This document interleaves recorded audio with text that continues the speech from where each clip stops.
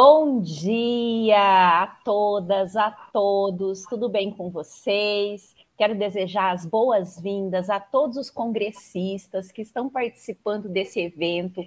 Ontem tivemos uma abertura brilhante e estamos aqui novamente para essa programação que está repleta de surpresas, de novidades científicas, pedagógicas, técnicas, para a gente estar conversando aqui e nos aperfeiçoando né, nas nossas trajetórias acadêmicas e profissionais. Neste momento, nós vamos é, conversar um pouco sobre o núcleo da editora do Instituto Federal Goiano. Eu gostaria de me apresentar, o meu nome é Sara, sou coordenadora do núcleo da editora, que é um setor vinculado à Pró-Reitoria de Pesquisa, Pós-Graduação e Inovação da nossa instituição.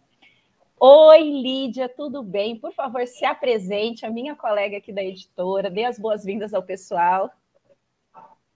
Bom dia, Sara, bom dia a todos que estão participando desse evento.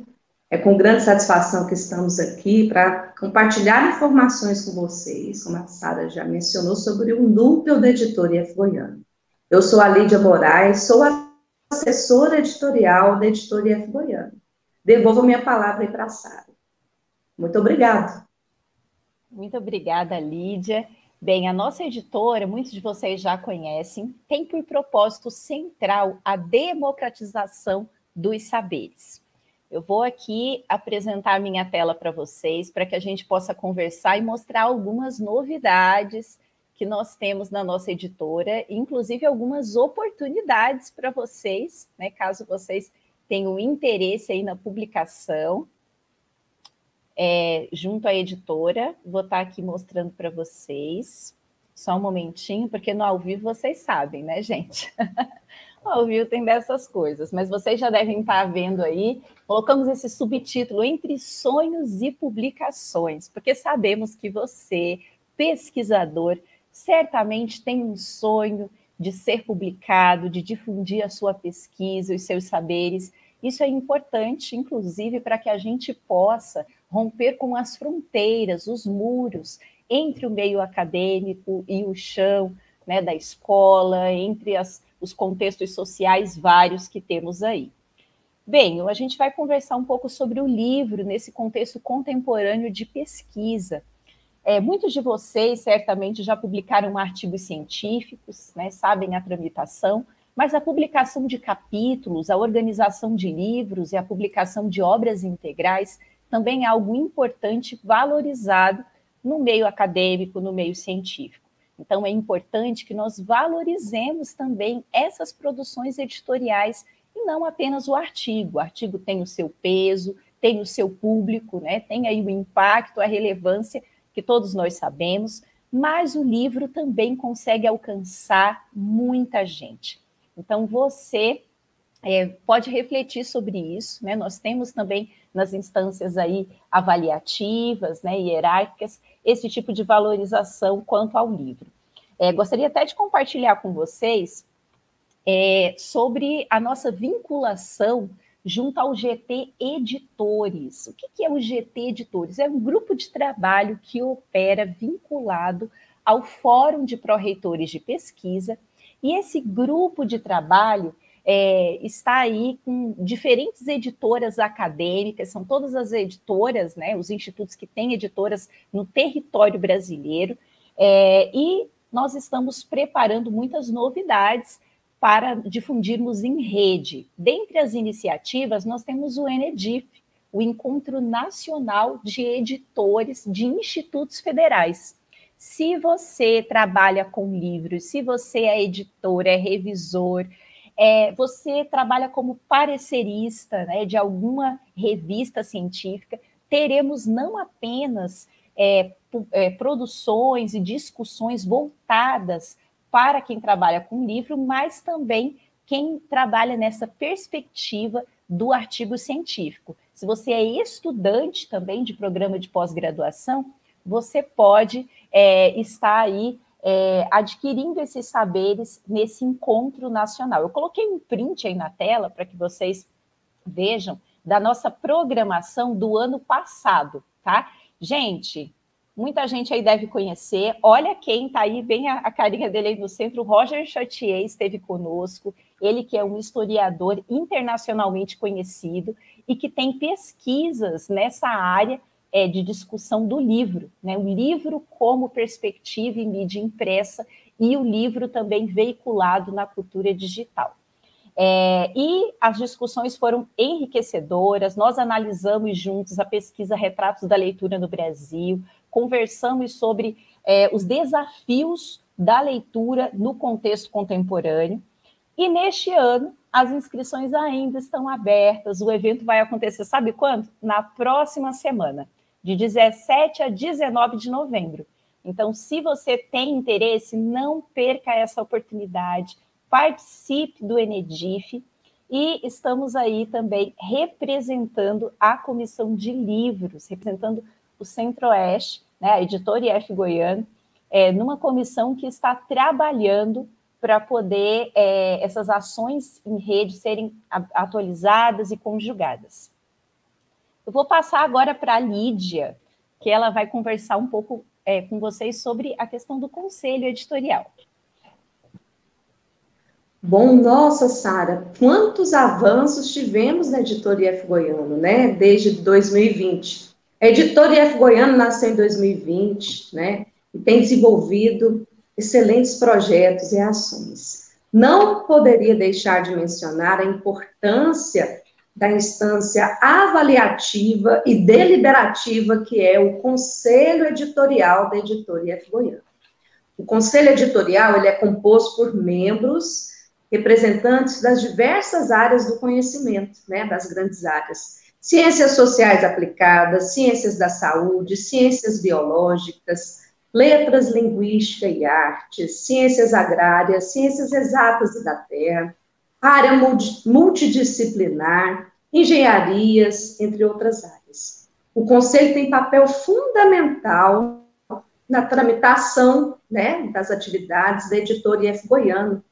E nós temos nossas reuniões ordinárias mensais, né? Então, o conselho ele é imprescindível para o delineamento, né, análise dos processos e execução de todos os processos e pro, projetos e ações no âmbito do núcleo da editoria F. Goiânia. Neste ano de 2021, nós tivemos dois editais de recomposição do conselho editorial. Desta forma, foi possível recompormos o nosso conselho. Né? E é grande satisfação que nós enfatizamos esse importante papel do Conselho Editorial da Editora IFUN. São ações conjuntas e colaborativas. Passo a palavra para você novamente, Sara. Muito obrigada. Bem, gente, eu gostaria de compartilhar com vocês é, uma visão sumária, panorâmica das nossas publicações. Muitos de vocês acompanharam a trajetória é, da editora do IF Goiano, os lançamentos que nós tivemos no ano passado, as publicações que já tivemos neste ano, os editais.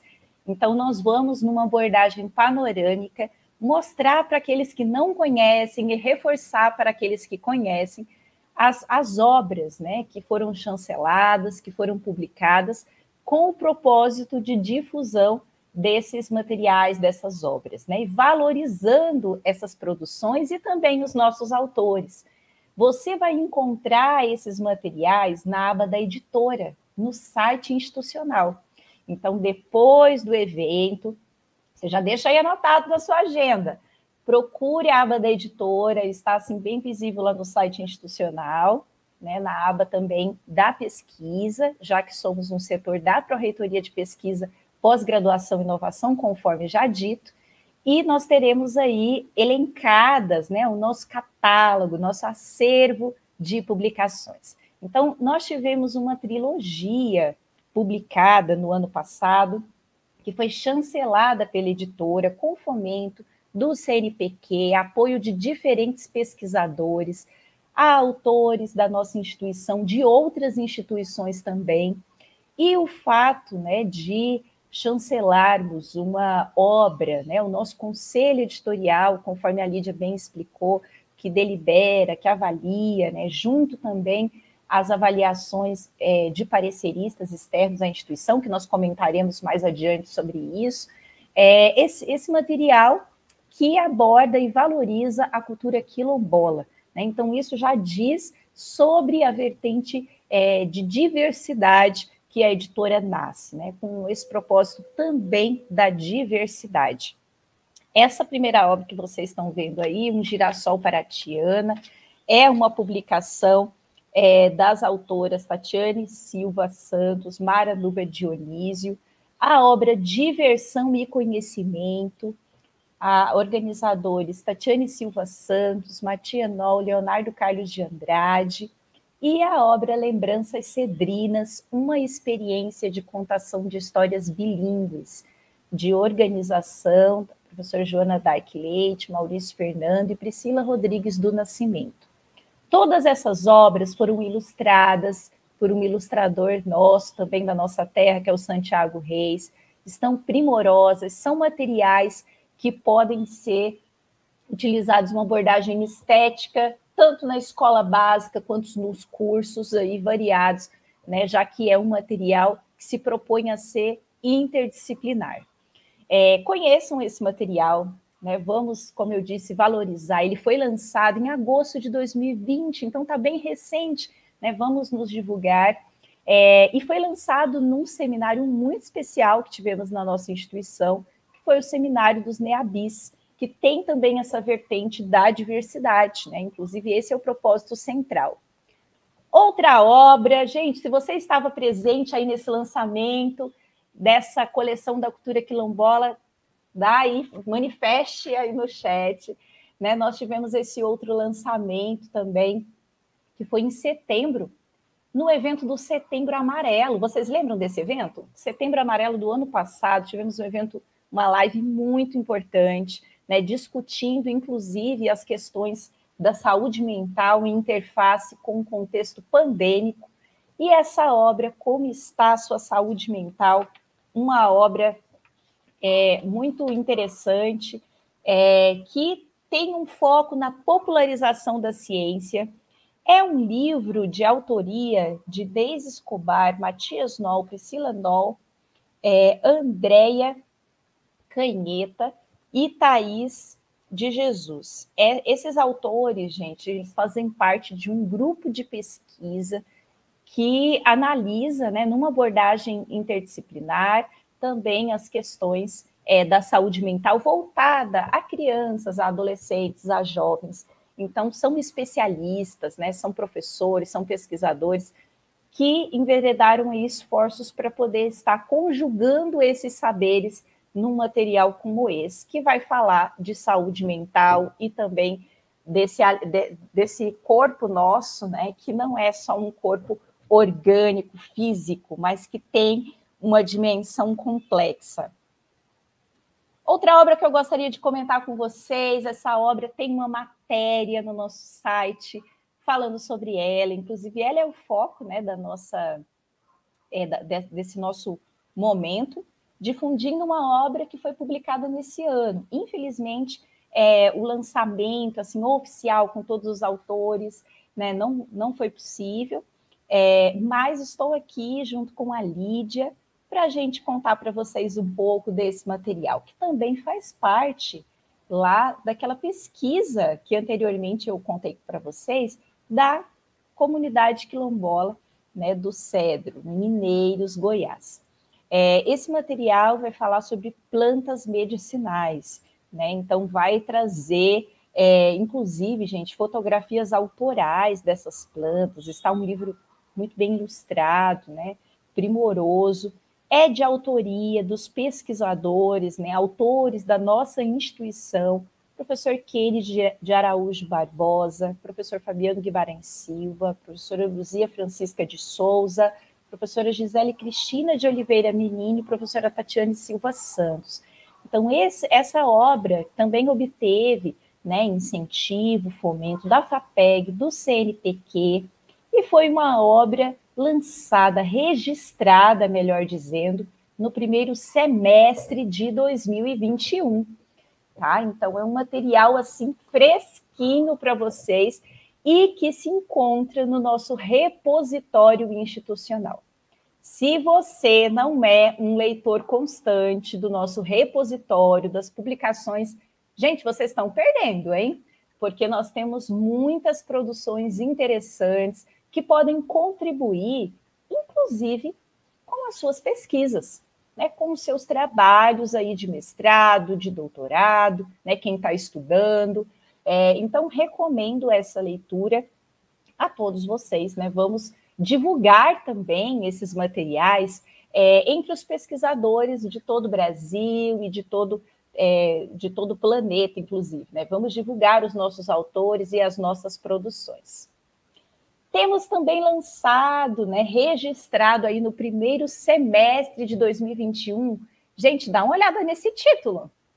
Olha, eu confesso que quando vi esse título, tramitando, eu fiquei assim bastante curiosa. A Lídia também né, todos, todos nós, é, instigados, né, por, justamente por ser uma abordagem muito atualizada. Práticas de alimentação e nutrição na prevenção e enfrentamento à Covid-19. Esse é um material dos pesquisadores, é, professora Joyce Vinhal Costa Orsini, professor Rafael Vinhal da Costa, professora Tatiane Tatiana Evangelista da Silva Rocha e professora Alessandra Ribeiro de Freitas Neri Alves. É um material, gente, como eu disse, que foi registrado nesse primeiro semestre de 2021. Um material assim bem fresquinho para vocês, né? E que vai discutir algumas práticas importantes nesse contexto pandêmico que nós vivemos em uma abordagem muito científica. Né? Ontem a fala da professora Zaira trouxe um enaltecimento né, necessário, importante para a pesquisa, para a ciência brasileira. Eu acredito que todos aqui é, acompanhar, né, e assim, é, realmente se apropriar da fala dela e, e concordar, né? É, então vamos aí difundir não saberes né, é, veiculados aí nessas correntes que nos chegam constantemente pelas mídias sociais, né? Vamos rebater esse movimento com uma ciência, né? Com as produções científicas de fato que demoraram aí um tempo para serem produzidas. Então vamos é, divulgar esse material é, para que as pessoas possam, de fato, conhecer o que, que nós estamos vivenciando e o que, de fato, pode estar aí é, prevenindo, enfrentando né, e contribuindo de alguma forma para esse cenário pandêmico que vivemos. Em relação ao nosso fluxograma editorial, você deve estar aí pensando, né, gente? Daqui a pouco a gente vai conversar, eu vou voltar, porque eu não estou vendo vocês, tá? Mas daqui a pouco eu vou voltar para ver vocês. É, mas eu gostaria de conversar com vocês um pouco sobre como que funciona o trâmite na editora. Tá? Nós nos pautamos em tramitações de editoras, é, principalmente de institutos federais. Então, buscamos essas informações para poder entender como que outras é, instituições tramitam as obras, tá? É, e como eu falei, né, e vocês sabem, o livro ele tem um papel muito importante para divulgar os saberes e a nossa captação ela acontece via editais e, com, e mediante uma prerrogativa de obras que foram aprovadas em editais universais, ou seja, que já passaram por uma instância avaliativa e enviam também para análise do nosso conselho o projeto, tá?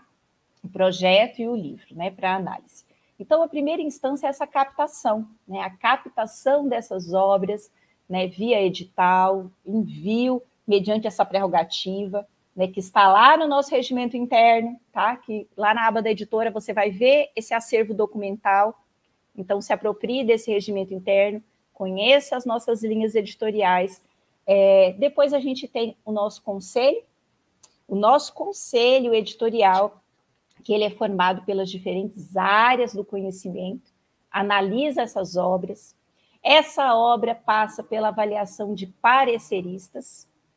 A gente sempre viabiliza a comunicação junto ao autor, emitindo aí o andamento, como que está o fluxo, ele recebe a devolutiva, inclusive recebe, né, com a não identificação, esses pareceres, para poder entender né, o que está precisando ali, se precisa de uma revisão, né, enfim. É, a obra passa por uma revisão textual, por uma diagramação, ok? É, a gente pede no ato, né, no edital, uma teste de revisão. Por quê? Porque numa editora não, não tem só uma revisão, né? não tem só uma pessoa que revisa ali é, textualmente, né, linguisticamente, esse material. Né? Então, muitas pessoas, né, duas em geral, no mínimo, e uma editora, seja privada ou pública, estarão ali revisando né, esse, esse livro, esse capítulo. Então, por isso que é, nós pedimos esse ateste de revisão e nós temos também uma etapa dentro da editora para revisão, ok? É montado o projeto gráfico da obra, os autores acompanham esse projeto gráfico também, é, inclusive nós temos materiais, digamos assim, no Prelo, daqui a pouquinho eu vou falar um pouquinho desses materiais quando eu estiver é, vendo aqui a tela, tirando a, os slides, mas os autores acompanham, têm a oportunidade de sugerir né, a, ali algum tipo de design que eles desejem, e daí construímos juntos. Depois dessa etapa, nós temos, né, assim que o livro está montado, né, as leituras de prova foram feitas, né, está ali bonitinho, nós temos a solicitação e o registro do ISBN, que nós temos a assessoria técnica da editora, que está é, hoje vinculada, inclusive, uma parceria com a Pró-Reitoria de Ensino, nosso assessor técnico faz essa solicitação, esse registro, e a obra, pronto, está publicada. Né? E aí termina o fluxo? Não, não, a editora, a gente continua aí junto com o autor nessa parceria. Fazendo o quê? Divulgando, igual a gente está fazendo hoje aqui, conversando com vocês. Tá? A gente, então, divulga essa obra, né? Essa obra, é, se for impressa, né? A gente divulga aí nos campos, inclusive tem material aí para chegar para vocês, tá? Em breve tem material que vocês vão receber, alguns volumes. Cada unidade da nossa instituição vai receber. É, e temos também os lançamentos com os autores, né, onde os autores são entrevistados, dá para chamar todo mundo, né, os colegas, a família, e aí a gente faz essa divulgação da obra e também dos nossos autores. Eu vou passar, antes de fazer uma parte mais literária com vocês, já que eu estou nos slides, eu vou passar agora para a Lídia. Lídia, aí, quem quer publicar? Pessoal, aí eu, eu, eu sei que tem um monte de gente interessada. Conta para gente como que faz. Com certeza. Bom, antes disso, né, reforçando e parabenizamos todos os autores, né, que publicaram pela editora IF Goiano, né, que tiveram seus originais submetidos para análise do conselho editorial e pelo, pelos pareceristas, né, que emitiram pareceres avaliativos, né, fizeram as análises, como você bem é, descreveu aí, Sara, agora há pouco, na tramitação editorial, nesse fluxograma, né. Bom, nós temos uma grande oportunidade. Na realidade, duas grandes oportunidades.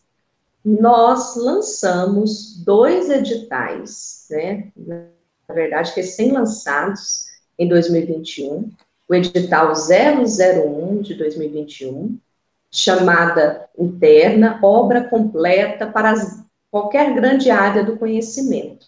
E o edital 002, chamada externa, de cunho artístico literário, né, contos e crônicas. Então, quem quiser publicar pela editora IF Goiano, nós temos dois editais abertos, pessoal.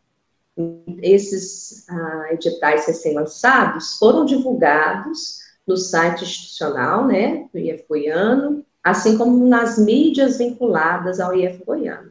Estão abertos até o próximo ano, as, as para submissão de obras e capítulos. Então, não percam essas oportunidades. Né? É muito importante que nós enfatizemos é, isso. Estamos com dois editais. Né? Muito obrigado e passo novamente a palavra para a Sara. Gente, deixa eu voltar aqui, né, para poder ver a minha tela, ver. Agora tô te vendo, Lídia.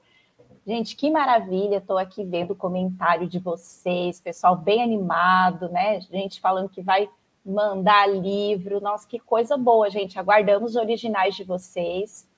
E vou compartilhar com vocês agora algumas novidades, assim, em termos de spoiler. Quem é que gosta de spoiler? Tem gente que não gosta, né? Mas eu vou contar mesmo assim. Tá? Eu vou contar um spoiler das obras, gente, que estão no prelo, tá? Olha só, nós temos obras que foram aprovadas no ano passado e que vocês sabem, né? A editora, acabei de mostrar o fluxograma para vocês, a editora tem trâmites, tá? Esses trâmites, eles não são feitos assim, né, do dia para a noite. E aí eu sei como é que fica o coração do autor. Você também sabe, né, Lídia? O autor, ele fica querendo ver o artigo publicado, o livro publicado, não é verdade? A gente manda o artigo e fica lá vendo, né? Cadê, gente? Cadê? Que tá, tá em avaliação? Cadê né, o meu retorno?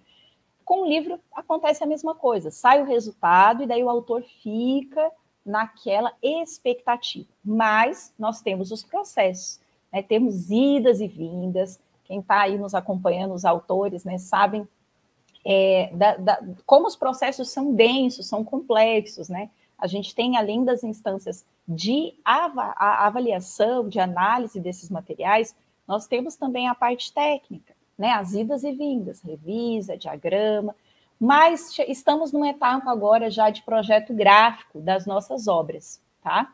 Então, olha só, deixa eu mostrar aqui para vocês, compartilhar, vou ler para vocês algumas obras que estão no Prelo. Tá? Então já aguardem aí. Pessoal que está precisando de material, produção contemporânea atualizada, para poder estar tá aí é, lendo, né, estudando para os seus trabalhos.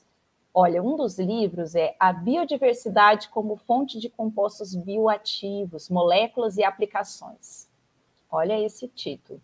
Né? Um, um, um livro é, bem específico, bem técnico, está primoroso, tem ilustrações, uma pesquisa densa é, de duas grandes pesquisadoras, autoras da nossa editora. Né? Em breve, mais novidades. Acompanhe o site da instituição, fiquem de olho nas redes, que a gente vai ter lançamentos desses materiais. Temos também uma obra intitulada Pesquisa e Extensão no IF Goiano, Campus Posse, Primeiros Passos. Tá? Um material, então, que visa não apenas né, compartilhar uma trajetória desse, dessa unidade, mas também fazer um, uma, um panorama né, sobre a interface da pesquisa e da extensão. Outro material, inserção profissional de egressos de cursos técnicos do IF Goiano, Campos Morrinhos. Então, esse material também vai chegar aí para vocês, né? São e-books, mas estamos é, enveredando esforços para poder viabilizar também alguns volumes é, impressos, né? Mas a priori são materiais e-book. Gente, e-book é ótimo, né? E-book, a gente vai chegando aí em fronteiras nunca antes imaginadas, né? Então, o livro digital ele ganha uma envergadura bem interessante, sobretudo na, na situação que vivenciamos, né? É, mais recente da pandemia, que impossibilitou o acesso a, as bibliotecas, livrarias, então o pessoal agora está mais assim, né, sabendo lidar com o livro digital, né, e buscando informações é, nessas plataformas. Estão aí, nosso repositório, novamente lembrando vocês. Outro material, jogos e brincadeiras para o ensino de ciências. Gente, esse material está incrível, sabe? É um, um material bem é, interessante para educação básica, para professores também que estão aí nos cursos de licenciatura, de pedagogia, que estão na pós-graduação, né, é, dessas que tem alguma interface com a educação. Então, é um material é, que vocês vão gostar, que está bem ilustrado, inclusive. Gestão pública, olhares pragmáticos. Pessoal da gestão pública, é, gestão em recursos humanos, gente, fica de olho nesse material está bem denso, bem interessante. Alternativas teóricas para o ensino e a aprendizagem de ciências e matemática. É outro material também, é, inclusive com uma parceria com um autor, pesquisador né, de uma instituição estrangeira. Então, uma, um material assim que foi feito a muitas mãos, né, a organização desse livro, é, e eu acredito que vai fazer bastante sucesso, né? Vai, vocês vão fazer bastante proveito desse material. Eu vou ler aqui alguns comentários, gente. Olha só. Evandro está parabenizando a editora do IF Goiano, porque realmente essa, esse é o nosso foco. Evandro, muito obrigada. Nós estamos valorizando sim a pesquisa regional e a gente precisa, né, gente, é, propagar isso para os nossos colegas de outras instituições. Outro comentário aqui, é, Carlos Frederico de Souza Castro, ele diz: Bom dia, colegas. A editora é uma excelente ferramenta para a produção de livros e material didático. Pergunta a possibilidade de desburocratizar o mesmo. Carlos, então nós temos, como eu disse, o nosso fluxograma, né? Mas a ideia é justamente isso. a ideia é democratizar, é romper essas fronteiras. E nós temos também, é, além dessa, dessa instância da editora, nós temos um comitê né, de avaliação de produção de materiais técnicos, materiais didáticos. É, então, nós estamos aí conjugando essas ações justamente para poder estar tá é, para que a informação chegue de forma bem é, facilitada né, e, e, objetiva aos autores interessados e aguardamos sim o seu original, tá? Temos, inclusive, né, Lídia, materiais didáticos e paradidáticos já publicados pela editora. Exatamente. Olha, nós estou vendo aqui, muito obrigado, pessoal aí da produção, que colocou o link do fluxograma Eduardo da Costa Severino, falando que acabou de publicar um e-book é, pela, pela Universidade Federal de Lavras. Olha só, o próximo será pela editora, aguardamos o seu original. Né? Nós temos oportunidades aí a todas e a todos. Gente, eu gostaria também de compartilhar com vocês, nesse momento, Lídia, vamos fazer uma. É, a gente sempre faz, gente, pessoal aí do nosso conselho, todo mundo é, a, a, gente mostrou uma fotinho ali, né, do nosso conselho editorial, a gente sempre tem algumas práticas. E assim, eu vou falar, olha, a gente teve edital de recomposição do conselho. Eu pensei que ia dar, assim, sabe, um universo de gente. E eu acredito que os, eh, os próximos a gente vai ter muita mais gente querendo participar, porque é muito, é, muito sensível, né? As nossas reuniões são sempre é, a gente sempre fala, para quem gosta de livro. A gente está aqui porque a gente gosta de livro, a gente acredita que os conhecimentos precisam ser democratizados e é por isso que estamos aqui. E eu quero fazer uma pausa literária com vocês, tá? Nesse momento. Eu trouxe aqui para vocês um livro de Manuel de Barros, Memórias Inventadas, para poder fazer essa pausa literária. Nas reuniões ordinárias do conselho, a gente sempre tem essas pausas.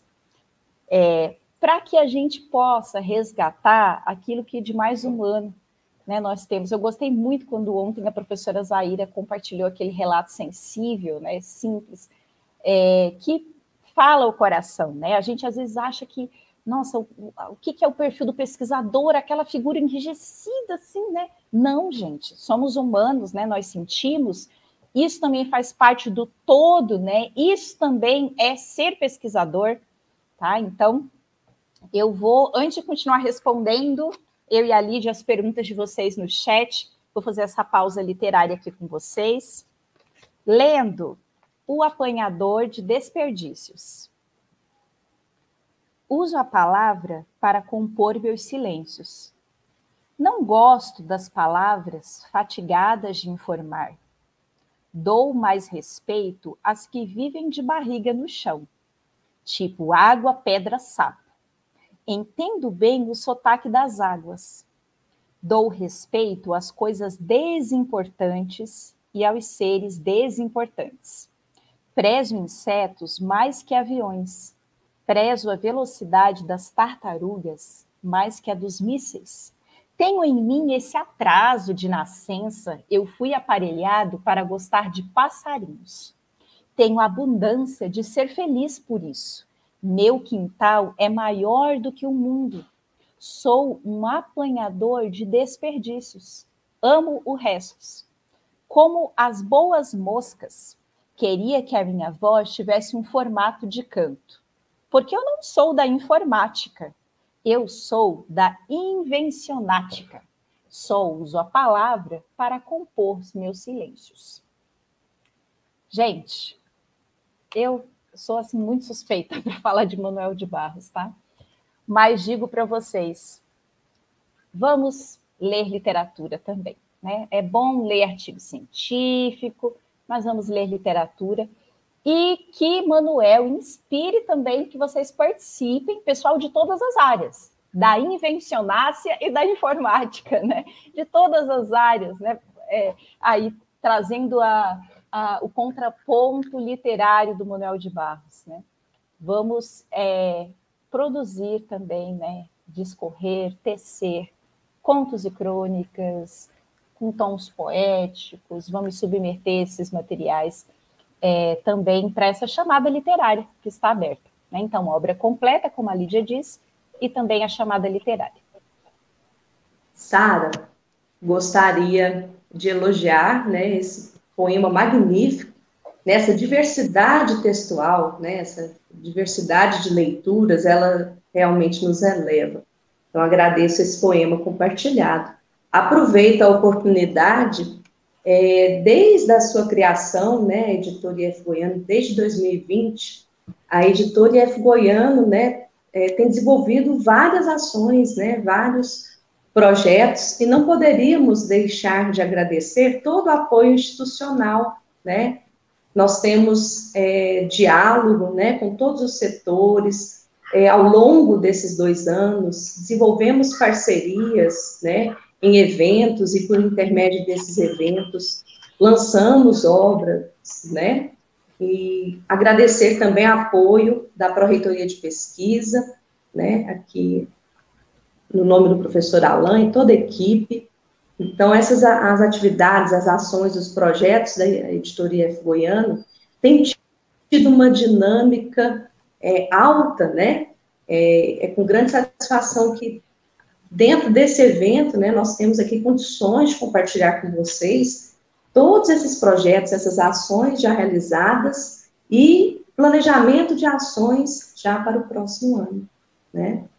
Então, agradecer a, ao IF Goiano, às instâncias institucionais, né, aos, a, a, as parcerias, né, setoriais, com os núcleos também, né, ABES, com a Diretoria de Gestão de Pessoas, por intermédio de eventos realizados, parcerias, essas parcerias, esse apoio, né, institucional da Corretoria de Pesquisa é, e toda a equipe, ela é importante.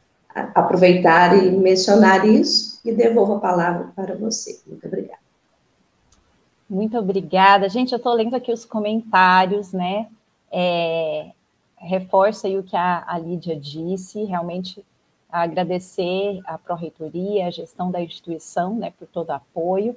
E nós temos uma, algumas dúvidas aqui e convite de parceria. Gente, eu vou ler, tá? Pra, porque vai ficar registradas as parcerias e vamos sim conversar, né? O nosso intuito é realmente agregar forças. O Evandro está perguntando quais os requisitos para participar da comissão de edição.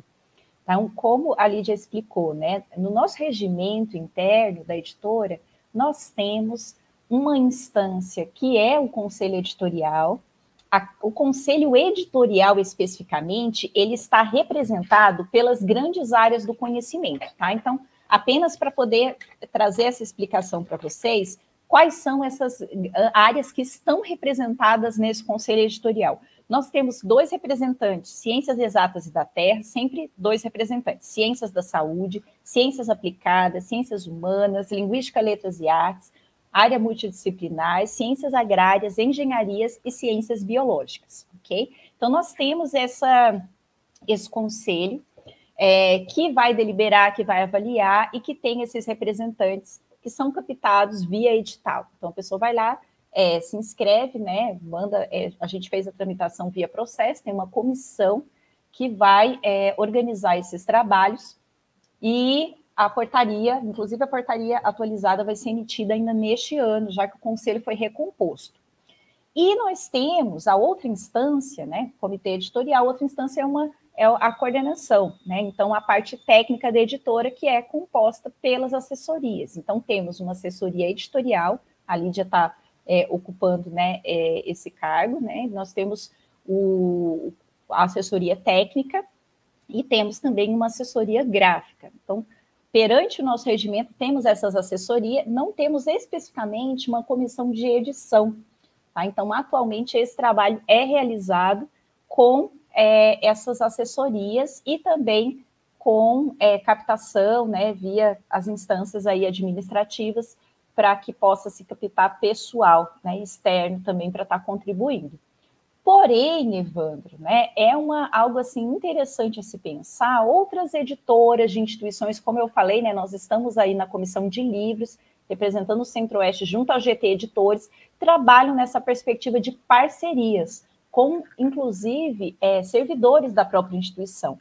Então, isso é algo, inclusive anotei aqui a sua, a, a sua é, dúvida barra sugestão, para que a gente pense, tá? Para que a gente possa pensar é, nessa possibilidade, quem sabe uma comissão também de edição, né? É, para estar na parte final, depois de uma revisão técnica é, externa, por exemplo, para que a gente possa estar tá fazendo a preparação, ok? É, a, a, a Lídia, minha colega, deu uma caidinha, desapareceu aqui para mim, mas está tudo certo, estou aqui com vocês, tá? Outra dúvida, Jacir Lora faz uma, a seguinte pergunta: Que tal o lançamento de uma revista para publicar mensalmente os principais trabalhos desenvolvidos e materiais didáticos selecionados pela comunidade do IF Goiano. Eu vou te falar que eu gostei bastante dessa ideia. Vamos conversar, tá? Vamos conversar sobre essa possibilidade, vamos verificar, né? E é isso, né? Desenvolvendo parcerias. Eu acho que quanto mais é, a gente puder difundir esses materiais, melhor, né? E assim, esse espaço está sendo bem legal para que a gente possa estar tá sanando a, as dúvidas de vocês. Gente, eu vou ler outros comentários aqui que eu amei. Mirna de Souza até mostrou agora aí eu amo ler, gosto de ler livros de contos, crônicas e livros de fantasia. Mirna, eu também amo, principalmente conto. Eu, meu gênero assim de predileção. E Mirna, você tá aí, olha só, já que gosta, né? Vamos também escrever. Estamos com a chamada aberta, gente. Vamos experimentar a literatura também na escrita, né? Vivenciar a literatura nessa dimensão escrita. A Lara aqui está é, registrando também o seu comentário, feliz em saber que o IF Goiano dispõe de possibilidades tão bacanas. Parabéns a toda a equipe pelo trabalho. Lara, nós também agradecemos a você, a parceria de sempre, a Lara, que é a nossa colega da Pró-Reitoria de Pesquisa, Pós-Graduação e Inovação. Nós agradecemos a parceria de todos os nossos colegas da Pró-Reitoria, né, que sempre estão aí juntos né, nessa vereda. É, o João Antônio Gonçalves e Silva, ele está dizendo assim, é muito importante ter esse tipo de incentivo de poder compartilhar o conhecimento através da publicação de livros e e-books. Eu concordo muito, João Antônio. A gente precisa, e, e eu gostei muito que você colocou, você viu, Lídia? Colocou livros e e-books, né? Então, assim, trazendo também o livro digital, e por muito tempo as pessoas pensaram, será livro digital? Né? E hoje a gente está vendo que tá aí, né, gente? A gente precisa conhecer, se apropriar e valorizar também o livro digital. Gente, alguém mais tem alguma outra dúvida? Eu tenho mais uma coisa para compartilhar com vocês, mas tá aberta aí a oportunidade. Se alguém quiser mais alguma dúvida, aproveita, tá? E a gente também tá no nosso e-mail. Olha só, nós temos o nosso e-mail editora.fgoiano.edu.br é, para poder a gente tirar as dúvidas de vocês também usando esse contato, ok? Então, qualquer dúvida, tem alguma dúvida sobre edital, tem alguma, surgiu uma dúvida que você não sanou aqui nesse momento, nesse espaço, né, que nos foi destinado. Por favor, gente, não hesite em sanar suas dúvidas, em, em requerer um atendimento via e-mail. A nossa equipe está prontamente disposta a responder. Pessoal aqui, bastante animado. E a gente vai dar daqui a pouco andamento a nossa explanação, né, a nossa programação. Gente, que programação hoje, hein? Muita coisa boa está por vir no nosso evento, no congresso, no seminário. Mas eu quero dar uma dica agora. A gente teve Mural de Barros, né, Lídia, que é assim, maravilhoso. E eu quero dar uma dica. Quem tem mais curiosidade de saber sobre esse universo de livro, sabe, de produção editorial de livro, Vamos dizer que você, você é professor, é pesquisador, mas também é parecerista, quer conhecer mais desse universo.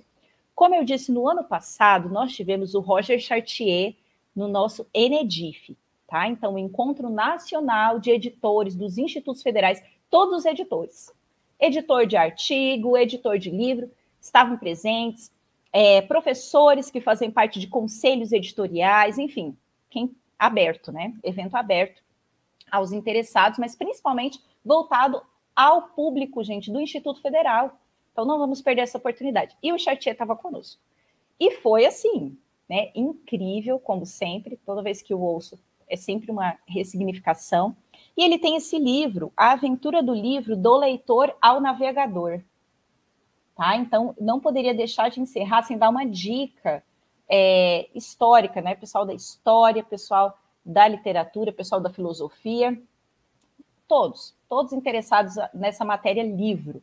E ele vai trazer uma abordagem, é, inclusive, né, com algumas discussões da análise do discurso, galera aí da AD francesa vai gostar bastante, tem Foucault e tudo mais.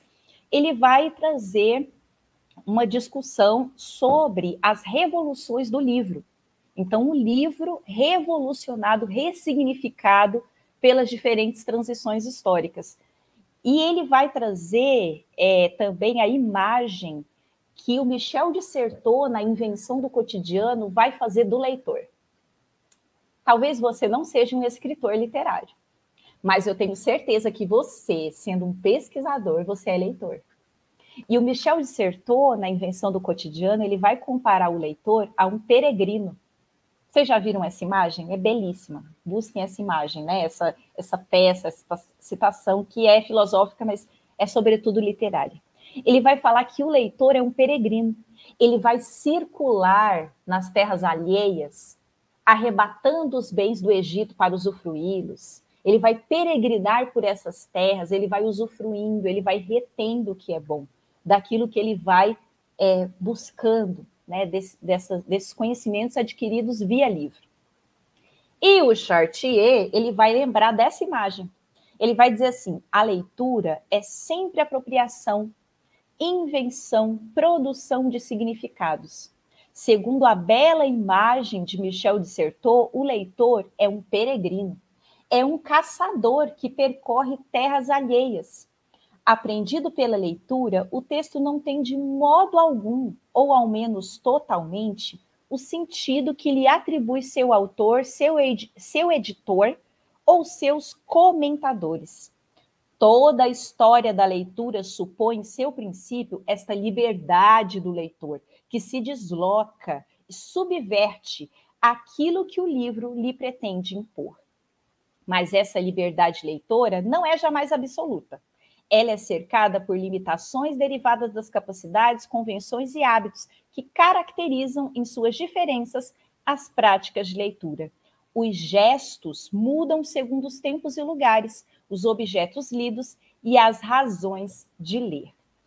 E ele vai trazer nessa discussão os vários suportes de leitura, justamente naquele comentário né, que a gente trouxe né, é, do João Antônio, de falar de livro e e-book, né, livro impresso e e-book. Ele vai trazer essa discussão e vai falar que é, a gente, as tecnologias né, do livro, do suporte livro, aí estão. Né, seja digital, seja impresso, seja em pergaminho, né, o texto está aí para o leitor, extrapolando, inclusive, as intenções do autor ou seus propósitos interativos nessa publicação. Alguém está pedindo aqui também, a Marília está pedindo o nome do livro. Olha só, A Aventura do Livro, do leitor ao navegador Roger Chartier. E aí, gente, reforço o convite, Lídia e eu estamos aqui para isso, para convidá-los ao Enedif, porque olha só, né? Eu tô assim, sabe, naquela tremenda alegria de uma pessoa que é fã também desses, desses pesquisadores. Nesse ano, nós teremos o Alberto Mangel conosco. Tá? O Mangel também é o diretor da Biblioteca Nacional da Argentina, é um pesquisador constante. Eu acredito que muitos aqui já viram uma imagem dele na sua biblioteca no sul da França. Olha que chique, sul da França. Uma biblioteca, gente, que fica tipo numa gruta, sabe? E tá assim, pilhado de livro. Ele, assim, é um constante leitor e também é um pesquisador do livro, da leitura, dos gestos de leitura. Tá? Então, vale a pena é, vocês participarem, conhecerem essa programação. Qualquer dúvida, é, qualquer necessidade de mandar né, um link específico, nós estamos é, para poder estar tá enviando essas informações também. E agradecemos a participação de vocês nesse momento, é, desse desse panorama da editora do IF Goiano. Tá? Acessem o nosso catálogo de livros, fiquem também aí é, atentos às divulgações e continuem, gente, continuem aí na nossa programação. Daqui a pouquinho a gente vai ter é, a continuidade da nossa programação. Vocês já estão aí com a programação, estão ávidos por saber. Deixa eu conferir aqui na produção se a gente já vai ter algum tipo assim de espaço para você buscar um café, um chá, uma água, ou se a gente já pode ir direto, continuando a programação, produção.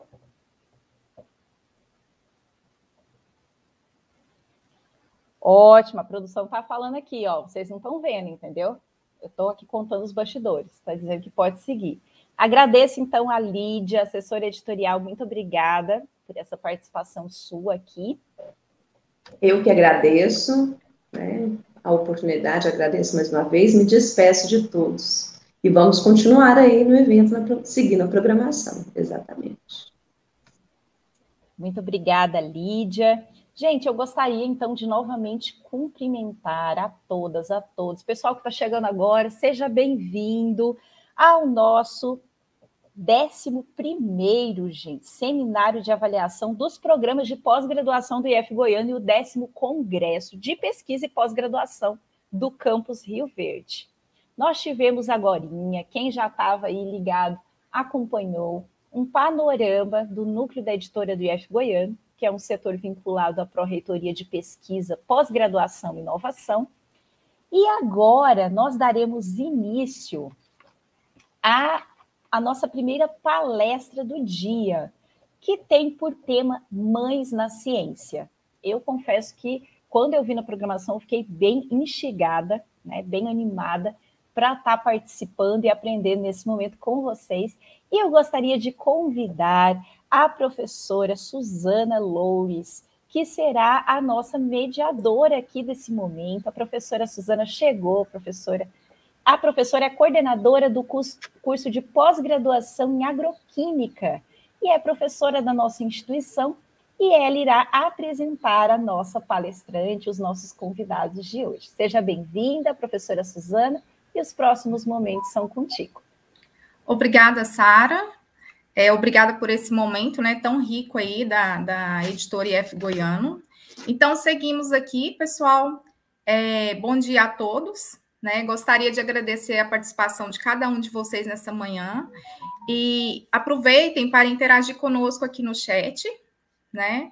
E a nossa convidada de hoje, né, nessa temática tão especial, né, principalmente para nós mães, né? Ela tem um currículo extenso.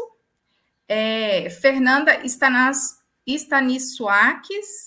é graduada em Ciências Biológicas, com doutorado em Biologia Celular, e molecular. Ela tem experiência nas áreas de biologia molecular e também fisiologia de insetos, bioquímica e macromoléculas e toxinas. Atualmente é professora do Departamento de Biologia Molecular e Biotecnologia da Universidade Federal do Rio Grande do Sul e é fundadora e coordenadora do projeto Parent in Science.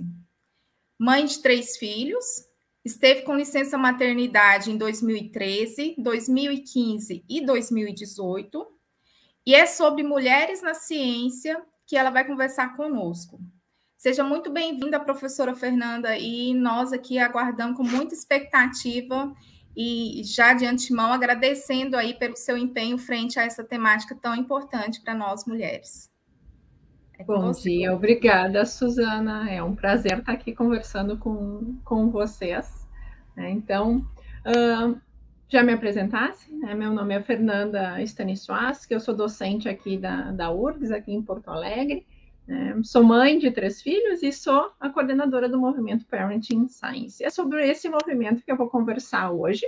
Vou contar um pouquinho a história de como surgiu essa iniciativa e de o que, que a gente tem feito, né? O Parenting Science está com cinco anos de vida, né? então é isso que eu quero contar para vocês. Eu vou compartilhar aqui uh, a minha tela com vocês.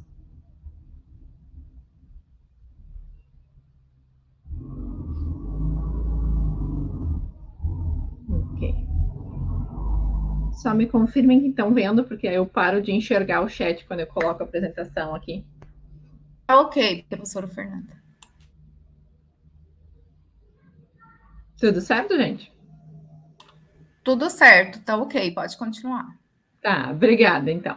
Uh, eu vou falar de um tema mais amplo, né? Não só de mães, mas falar de parentalidade na academia, né? E apresentar, então, nosso, momento, nosso movimento, o contexto que a gente está inserido aqui no Brasil e no mundo, né? e trazer algumas das nossas ações, e depois a gente pode discutir, conversar um pouquinho né, sobre esse tema, tá? que é super importante, super relevante, né? Principalmente nesse cenário que a gente está vivendo hoje da pandemia, que ainda está né, ao nosso redor. Então, o Parenting Science é um movimento que surgiu em 2016. Inicialmente, ele era formado por um grupo muito pequeno, né? Nós éramos sete cientistas que estávamos passando por aquele momento de mães e pais de filhos pequenos, né? E tentando conciliar nossa carreira acadêmica. E naquela época, lá em 2016, a gente não ouvia muita conversa sobre esse assunto.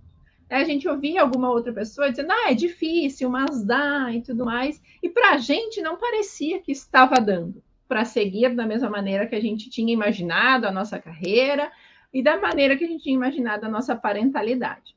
Então, a gente fundou esse movimento né? Principalmente focado em mães, e a gente vai conversar um pouquinho sobre isso, porque o foco nas mães, porque falamos muito mais de mulheres do que de homens, para tentar dar apoio para essas pessoas que estavam por esse, passando por esse momento de conciliar a carreira e a maternidade, a paternidade. E também a nossa ideia era muito mais do que só né, dar apoio, conversar e falar a respeito, era promover mudanças institucionais. A gente já tinha alguns exemplos de coisas que aconteciam em outros lugares do mundo, por exemplo, uh, na Austrália, né, era o programa que a gente estava se baseando, existia o que eles chamavam de financiamento de reentrada, de retomada de carreira. Então, o cientista tinha uma pausa na carreira em função da chegada dos filhos, e aí havia um aporte financeiro, um, um, um apoio institucional para retomar a carreira depois dessa pausa. E aqui no Brasil não existia nada nem remotamente parecido com isso. Então, a gente criou um movimento com esse intuito, e aí, ao longo do tempo, nossas ações foram expandidas, nossos objetivos foram aumentados, e vou contar isso para vocês. Desse grupo pequeno que surgiu lá em 2016, o movimento cresceu muito. Né? Em 2019 e 2020, nós tivemos nossa primeira expansão, que foi a criação de um núcleo central que coordena o movimento junto comigo, né? onde hoje a gente tem 18 cientistas que são de diferentes locais do Brasil, de diferentes áreas de conhecimento, né, e que participam, então, das ações junto comigo para fazer né, o movimento andar. Né? E, além disso, em 2020, em outubro de 2020, então, acabou de completar um ano, a gente criou uh, o edital de embaixadores do movimento Parenting Science. Então, hoje a gente tem, além do núcleo central, mais cinco núcleos regionais, que são, então, embaixadores e embaixadoras que representam 53 instituições de ensino né, de todo o Brasil. A gente está em 18 estados mais o Distrito Federal. Essa expansão foi muito importante para a gente. Primeiro, porque né, com o crescimento do movimento e tudo mais, as demandas se acumulavam e a gente precisava de mãos né, para tocar todas as demandas, os nossos projetos, as nossas ações. Mas, principalmente, foi extremamente importante para a gente esse, essa, essa expansão com os embaixadores e as embaixadoras, porque nos trouxe realidades diferentes. aquele pequeno grupo que eu mostrei para vocês, nós éramos cientistas aqui do Rio Grande do Sul, né, na, da região sul, na verdade, então a gente tinha a nossa realidade. E o Brasil, do tamanho que é, com as suas muitas particularidades, a gente precisava entender a realidade de cada região, de cada instituição. Então, as embaixadoras têm funcionado muito nesse sentido, de adaptar nossos projetos, nossas iniciativas para a realidade das suas instituições, das suas regiões. Tem sido uma experiência muito rica. Hoje, então, nós somos um grupo de 90 cientistas de todo o Brasil, né? E o movimento, então, uh, acabou expandindo bastante, né? E eu vou mostrar para vocês algumas das conquistas que a gente tem.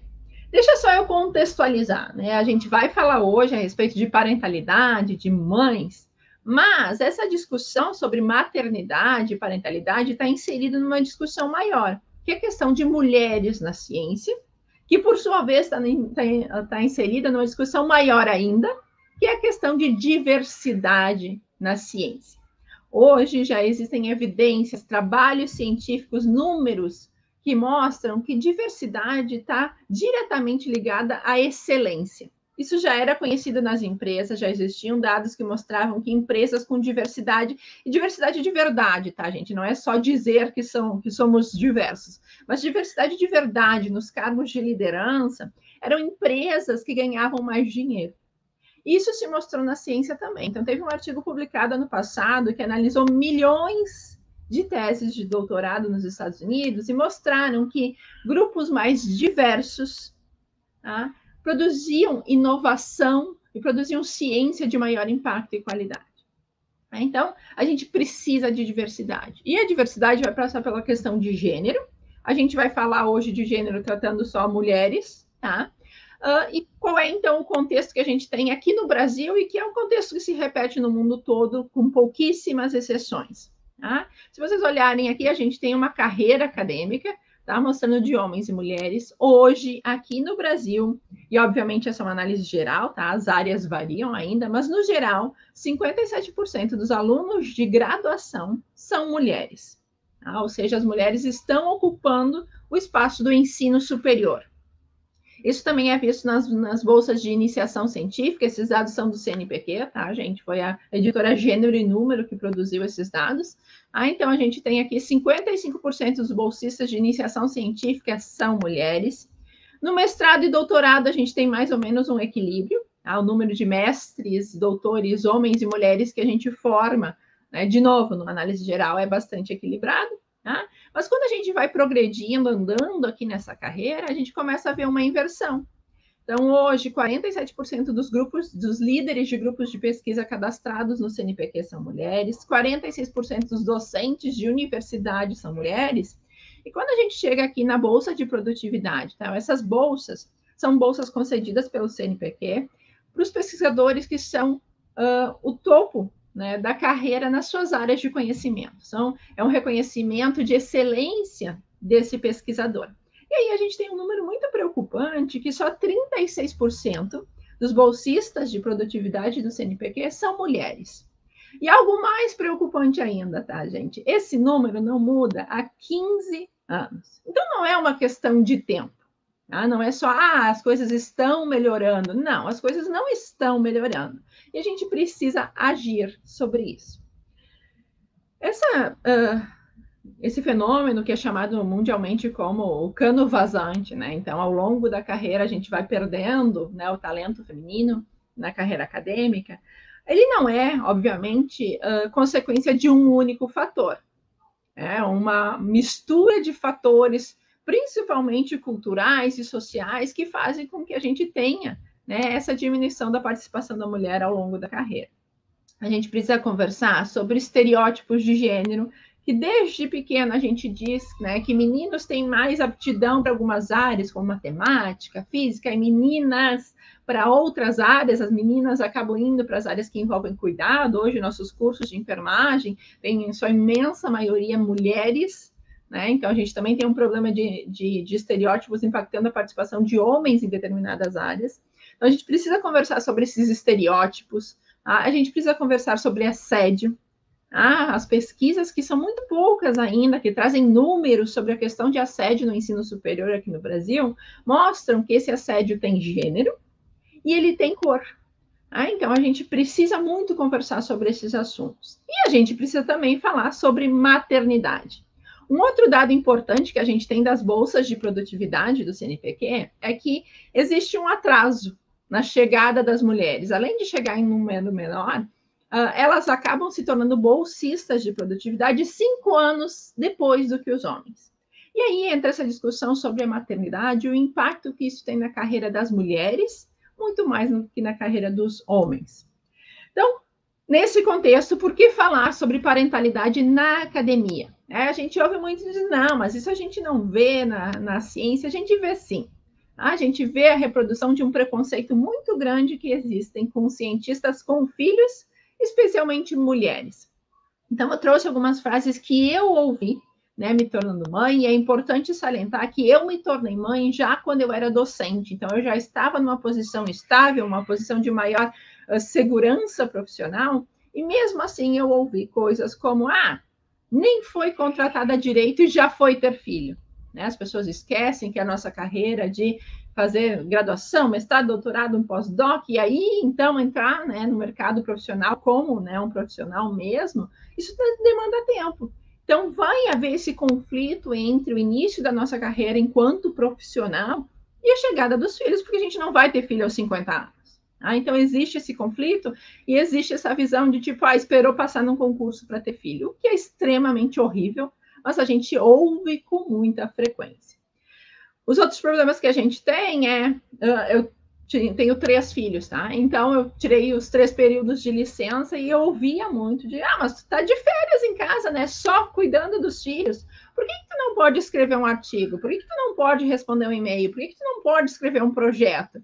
Ah, então não há o respeito a esse período da licença, que muito mais do que um direito da mulher, é direito da criança. Ela precisa de cuidado em tempo integral nesses seis meses. E a gente já tem o problema, né? a gente vai conversar sobre isso mais adiante, a gente já tem o problema desse cuidado ser colocado único exclusivamente na mãe, nesse sistema de licenças que a gente tem vigente hoje no Brasil, e ainda por cima não há o respeito desse período.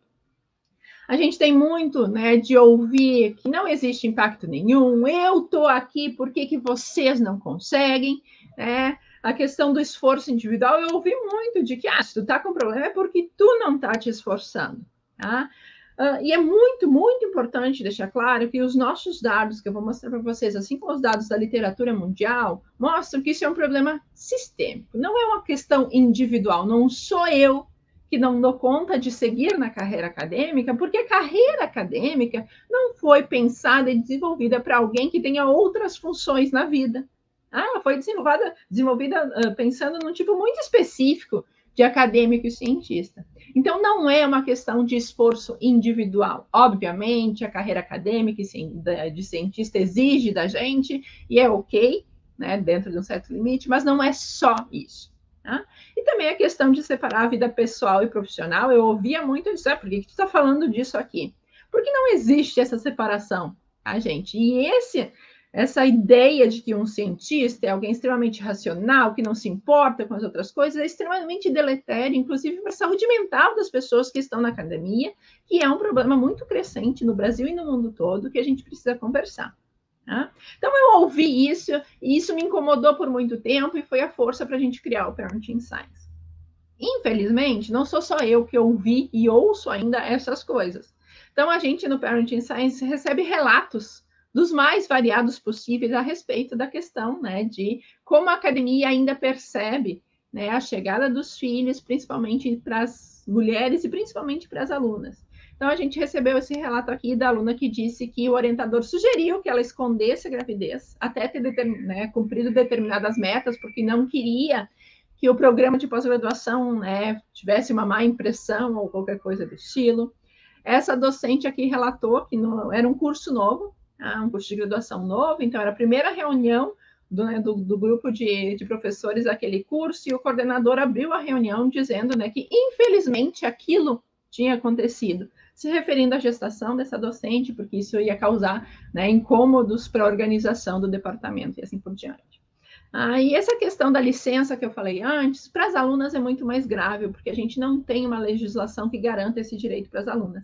Então, essa aluna aqui relatou né, que teve que voltar para suas atividades 18 dias depois de ter né, tido seu filho, tá? porque ela não teve apoio do programa né, em relação ao direito ou não de licença, tá? e professores não abriram mão de ela estar presencialmente fazendo as suas, as suas atividades. Tá? Então, a academia, tá? assim como nossa sociedade de uma maneira geral, uh, ainda não está aberta né, a, a, a, promover esse ambiente onde seja de fato possível conciliar ter filhos e manter a carreira. Então, é por isso que a gente precisa conversar. Contei relatos da minha experiência e da experiência de outras mães. Tá? Então, apesar do Parenting Science ter ficado com esse nome, porque de maneira nenhuma a gente vê o cuidado como uma tarefa só das mães, e a gente deixou o nome em inglês para ter um termo neutro, né, de parent, de alguém que tem filhos, tá? Todos os dados da literatura mostram que são as mães que sofrem o um impacto. Como consequência dessa questão cultural de quem tem filhos, né? É a mãe, quem cuida dos filhos é a mãe. Obviamente, a gente sabe que existem exceções, gente, é óbvio que a gente sabe disso. Mas, enquanto grupo social, tá? são as mães que pagam o preço. Então, a gente tem aqui, esse artigo foi publicado no início de, desse ano, mostrando dados a respeito dos Estados Unidos e do Canadá, onde eles avaliam produtividade pensando em publicações de artigos científicos em algumas áreas do conhecimento. Aí eles mostram que mães sofrem né, uma queda na, na taxa de publicação nos primeiros anos né, da chegada dos filhos, comparando com os seus cientistas do mesmo gênero e sem filhos. Tá? E para os pais, ou não há impacto. Aqui na administração, inclusive, aumentou o número de publicações.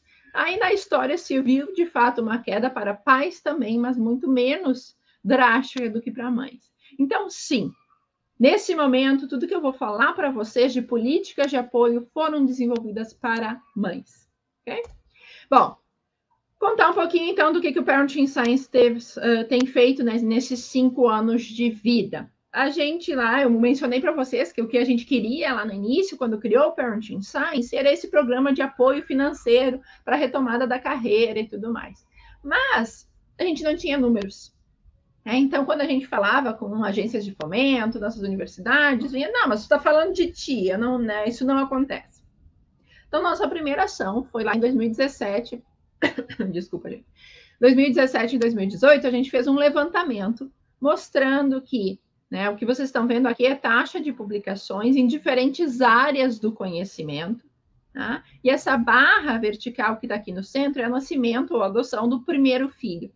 E em todas as áreas do conhecimento, mães sofrem uma queda significativa na sua taxa de publicações.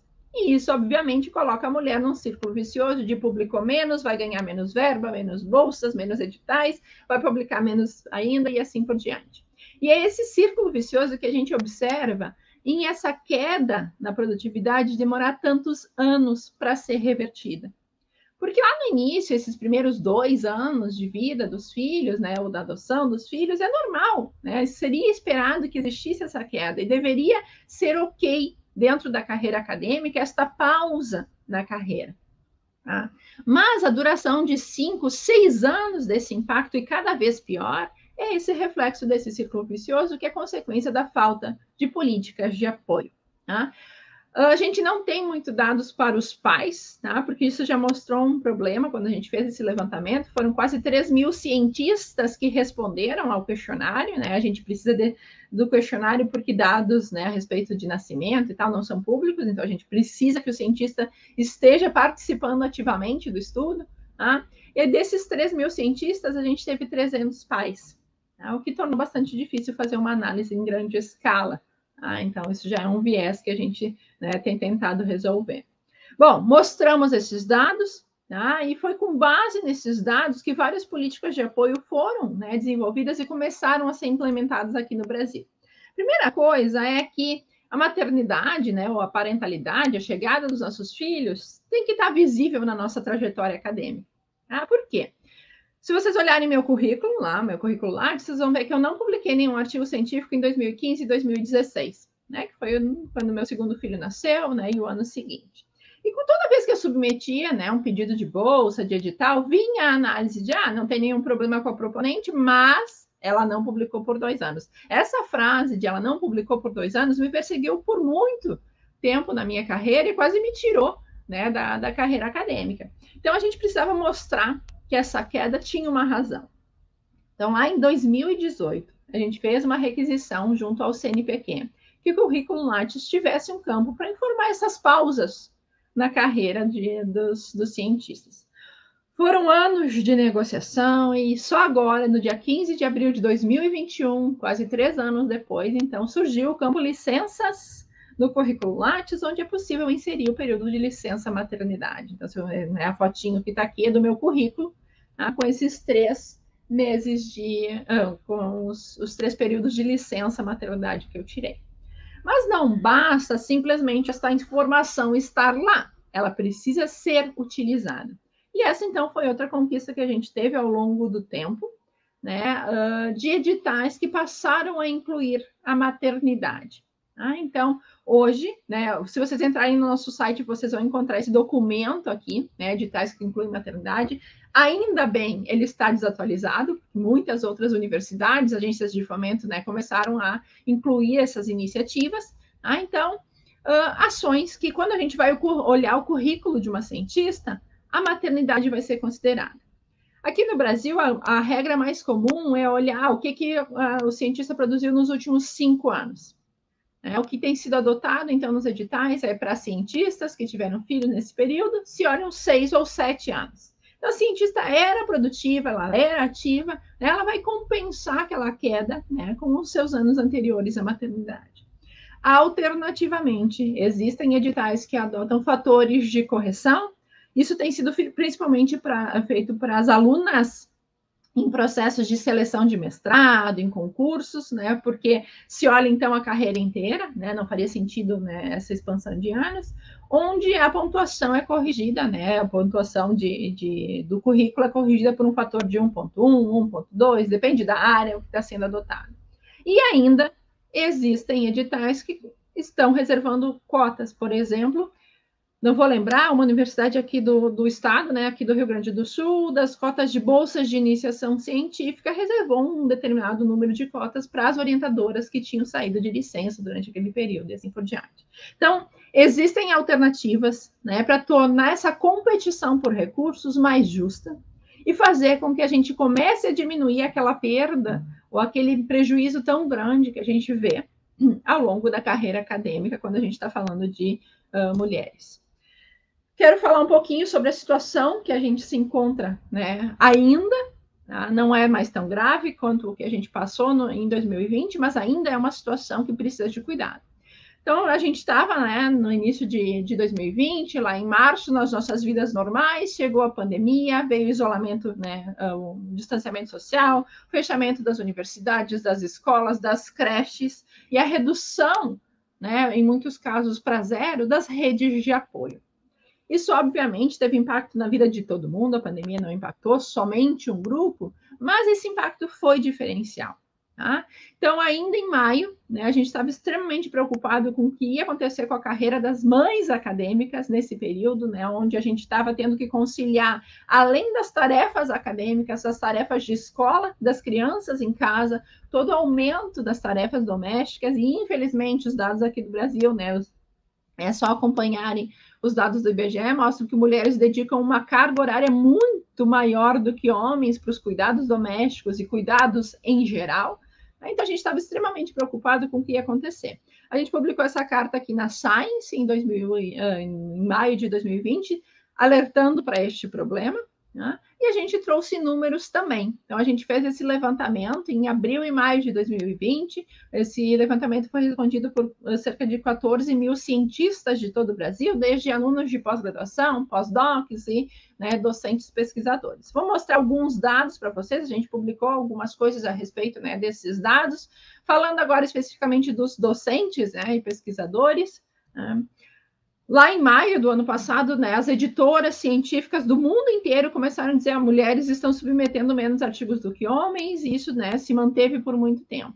Então, a gente foi estudar o que estava acontecendo aqui no Brasil em relação a isso, e a gente viu que sim, existia uma diferença de gêneros, né? A gente perguntou para esses cientistas: tu tinha um artigo para submeter quando a gente entrou nesse período da pandemia? Tu conseguiu submeter esse artigo? Então, quase 70%, 70 dos homens disseram que sim, submeteram os artigos como planejado, e esse número diminui para 50% das mulheres.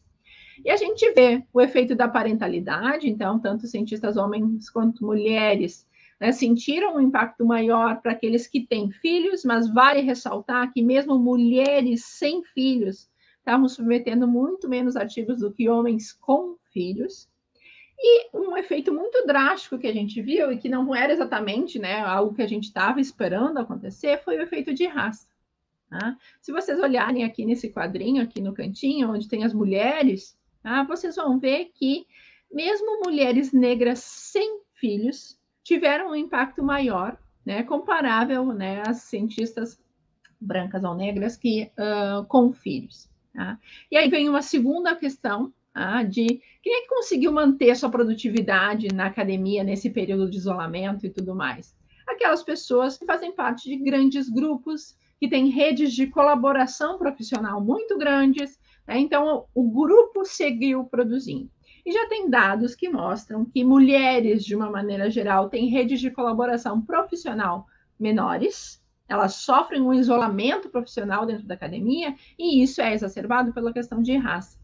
Ah, e também pela questão numérica. Mulheres negras hoje representam ainda uma fração muito pequena dos nossos docentes, docentes de pós-graduação. Então, a gente trouxe esses números para aquilo que a gente instintivamente já sabia que, eh, que acontecia.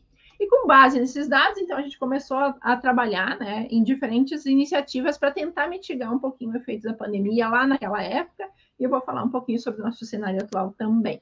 Então, lá né, em 2020, a gente insistiu muito na ampliação e flexibilização de prazos, tá? e isso valia para tudo, para bolsas, para editais de financiamento, porque senão as pessoas que iam estar conseguindo concorrer a esses editais ia ser, de novo, um grupo muito específico de cientistas. O ideal seria né, que a gente tivesse editais de financiamento específicos para a retomada da carreira desses grupos que foram mais afetados. Infelizmente, falar de financiamento científico no Brasil agora é algo uh, surreal, né? Porque o financiamento não existe, né? E toda vez que essas, uh, esses cortes estão avassaladores, qualquer ação afirmativa é a primeira a ir embora. Então, a gente sabe que essa não é uma realidade né, que vai ser facilmente atingida para a gente aqui. Mas, dos poucos recursos que nos restam, a competitividade precisa ser uh, justa. Então, mais do que nunca, a análise do currículo vai ter que levar em consideração que 2020, 2021 e 2022, gente, não é um ano normal em termos de dinâmica de publicações. A gente, mais do que nunca, vai precisar olhar os currículos desses cientistas, considerando esses fatores todos que influenciaram esses anos da nossa vida. A gente insistiu muito na questão de horários de reuniões e atividades, carga horária, né, tanto de aula quanto de uh, atividades administrativas, em relação aos alunos do ensino remoto, né, é, e era inviável pensar que uma aluna de graduação ia conseguir fazer trabalhos em 24 horas, né, nesse cenário de estar cuidando de alguém e assim por diante. E tudo se resume à questão da empatia. Né? A gente já sofre de uma falta disso muito grande, e a pandemia exacerbou isso mais ainda. Então, as realidades que a gente vive dentro da academia são muitas. Aí a gente precisa entender isso e entender que eu vou ter que ser um pouquinho mais flexível em algumas situações com os meus alunos e as minhas alunas, entender administra administrativamente que a instituição vai ter que pensar nas diferentes realidades daquelas pessoas que compõem aquela instituição, para que a gente não tenha uma, um aumento nas questões de gênero e raça, que já são um problema dentro da academia. Então, uh, muitos, muitos, muitos artigos né, do mundo inteiro mostraram esse efeito diferencial da pandemia na vida dos cientistas, principalmente para aqueles que acumulam função de cuidador. E na pandemia não foi só a questão de cuidado dos filhos, mas cuidado de uma maneira geral. Tá? Mas a gente viu pouquíssimas ações na prática. Então, agora, né, em outubro desse ano, a gente publicou uma outra carta chamando a atenção de que a gente precisa de ações concretas, reais e imediatas para tentar reverter um pouquinho os impactos da pandemia na carreira das, de cientistas, né, que são cuidadores de uma maneira geral. Essa carta foi publicada na Nature Human Behavior. É, quem quiser acessar, né, lá no nosso site tem, tem o link. Bom, um dos dados mais chocantes que a gente teve né, nesse levantamento da, da pandemia aqui no Brasil foi em relação aos alunos de pós-graduação. No geral, só 40% dos alunos naquela época, em, maio, em abril e maio de 2020, estavam conseguindo seguir com, os seus, com as suas teses e dissertações, por uma gama variada de, de razões. Mas, quando a gente começou a fazer recortes nesse grupo, e foram 10 mil alunos de pós-graduação que responderam o nosso questionário, a gente viu que mães, de uma maneira geral, estavam sofrendo mais impacto, e mães negras mais ainda. Então, foi só 9% das alunas de mestrado e doutorado que são mães negras ou indígenas, né? A gente estava considerando a questão de raça e etnia junto, uh, conseguiam seguir com as suas teses e dissertações. E a gente sabe que a questão financeira foi algo extremamente abalado durante a pandemia, né? e que, obviamente, era um fator determinante para conseguir manter esses, essas alunas dentro do, dos cursos de pós-graduação. O Parenting Science, enquanto movimento, não tem nenhuma fonte de renda, a gente né, trabalha voluntariamente, tá? mas a gente queria fazer alguma coisa para tentar diminuir um pouco esse impacto para aquelas pessoas que a gente pudesse alcançar. Foi uma experiência muito legal. A gente lançou então esse programa que a gente chamou de Amanhã, né, que a ideia é formar hoje as líderes de, de amanhã. Uh, e através de financiamento coletivo, a gente arrecadou 120 mil reais. E com esse valor, a gente está ajudando 29 alunas de pós-graduação mães, estão recebendo esse valor mensalmente, tá? desde abril, quando a gente fez o programa, né, até uh, a conclusão né, do seu curso de mestrado e doutorado dentro do ano de 2021, porque infelizmente a gente não tem verba para seguir né, até o ano que vem. A imensa maioria dessas alunas são mulheres negras ou indígenas e são mães solo. Tá? Então, foi uma pequena contribuição que a gente viu que conseguia fazer. Tá? E é super importante né, falar que mesmo com todas as restrições, né? Então, para poder aplicar o programa, não podia ser bolsista, tinha uma série de restrições. A gente recebeu 750 candidaturas em poucas semanas. Né? E a gente está atendendo um número muito, muito menor. Então, mostra que é uma demanda urgente, que enquanto né, sistema de uh, academia ciência, a gente deveria estar olhando para isso como um problema muito sério na manutenção das mulheres na carreira acadêmica e pensando em diversidade na ciência. Contar um pouquinho né, das outras aventuras do Parenting Science. Então, agora a gente está em um processo de expansão para os outros países da América Latina. A gente já tem formalmente o Parenting Science Colômbia, onde nossas colaboradoras de lá estão reproduzindo os nossos, né, os nossos levantamentos para ter dados, para conhecer o cenário dos seus países e pensar em políticas de apoio. A discussão aqui no Brasil, por mais que ainda não esteja no nível que a gente gostaria, ela é avançada em alguns tópicos relacionados à diversidade. Em vários países da América Latina, essa discussão é quase que inexistente. Né? Então, a gente está super feliz com essa expansão. Né? A gente já está em, em, conversa com outros países e é extremamente importante para a gente essa formação dessa rede regional, pensando né, na, na América Latina como um grande grupo que a gente pode se unir e trabalhar conjuntamente. Tá? Bom, o que, que né, está no nosso futuro próximo e nos, nos, próximos anos? A gente tem uma série de ações que a gente gostaria ainda né, de, de manter. Então, eu vou falar algumas coisas, eu não vou falar de tudo, só para né, a gente ter um tempinho para conversar. Mas, por exemplo, a gente conseguiu, então, a maternidade, né, as, as licenças, uh, na plataforma Lattes, que é onde tem os currículos de todos os cientistas do Brasil inteiro.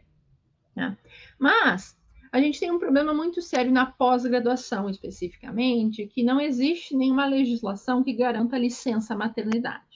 Em 2017, foi aprovada uma lei federal que garante a prorrogação das bolsas em função da licença, mas a lei não garante a licença em si. Então, a gente tem muitas alunas que não têm o direito de licença maternidade respeitado. E esse é um problema sério, gente. A gente precisa do respeito a esse período de licença. Um dos grandes problemas que a gente tem é que uh, a avaliação, e agora, obviamente, com toda a confusão, que nem sabemos se as nossos, né, a nossa pós-graduação será avaliada, mas enfim, plataforma Sucupira é onde todos os dados da pós-graduação são inseridos aqui no sistema brasileiro, e um dos fatores que sempre pesou na análise dos cursos é o tempo de titulação, os 24 e os 48 meses né, de, de titulação dos nossos mestres e doutores. Então, muitos programas de pós-graduação tinham resistência em garantir a licença maternidade, porque estender por um período de seis meses esse prazo.